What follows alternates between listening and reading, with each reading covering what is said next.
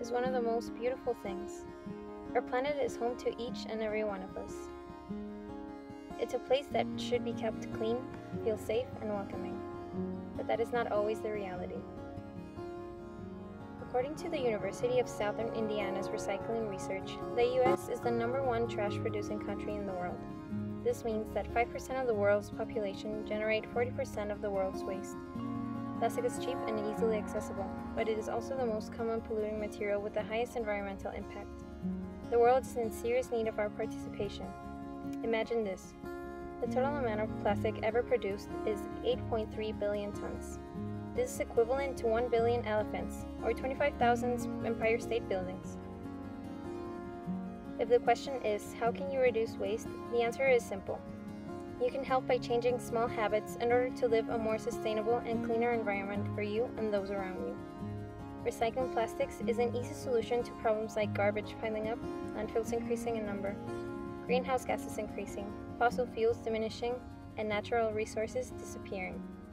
Small adjustments create a significant change. That is why we propose to you three adjustments for your daily life that can benefit the environment greatly.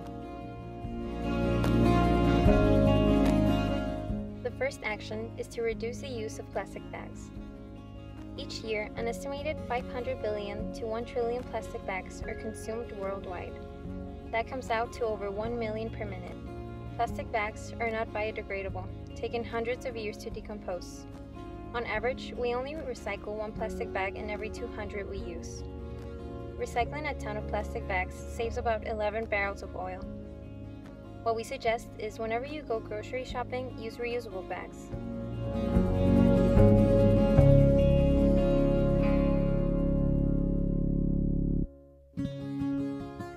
You can purchase fabric produce bags or even opt to purchase loose items instead of packaged ones.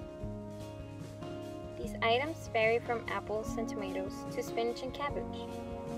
Our next suggestion is to purchase products with less packaging. It takes 500 or more years for a plastic bag to degrade in landfills.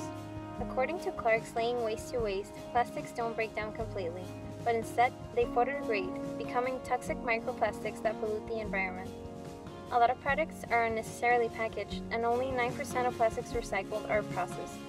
What we suggest is switching from packaged goods to their unpackaged form. Avoid buying fruits and vegetables that come pre-cut. Can also avoid buying bagged items like rice, pasta, and beans. Some stores even allow you to purchase these items by the bulk. The last thing we suggest is eliminating single-use plastics.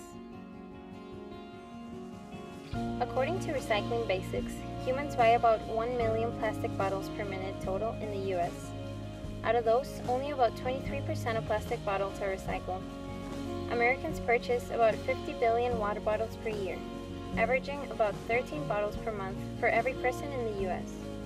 The constant use of plastic bottles creates a large quantity of waste in landfills and oceans. What we suggest is to minimize the amount of waste created by using reusable products.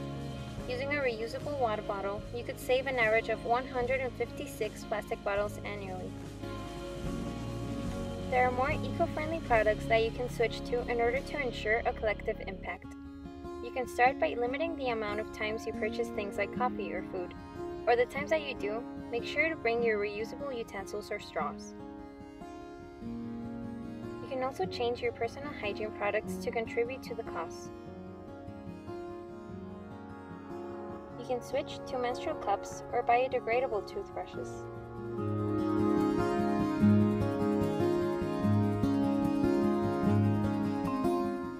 Just some of the ways you can contribute to reduce the amount of plastic polluting the earth. If we don't change our habits, trash will fill every corner of the earth.